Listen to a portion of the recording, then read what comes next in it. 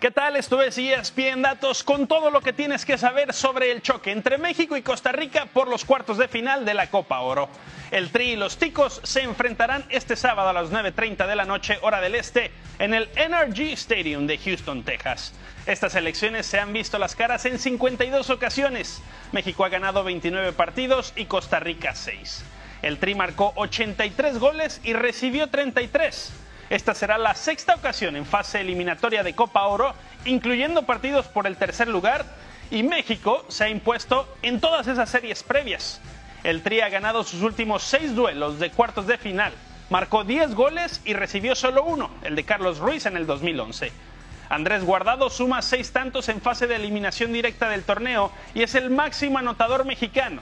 Está a cinco de Landon Donovan, el líder de la lista. Por su parte, Costa Rica viene de su primera derrota ante un rival caribeño en la Copa desde el año 2000, cuando cayó en cuartos de final contra Trinidad y Tobago. Las seis eliminaciones de los ticos en cuartos de final es la mayor cantidad de una nación en la historia del certamen.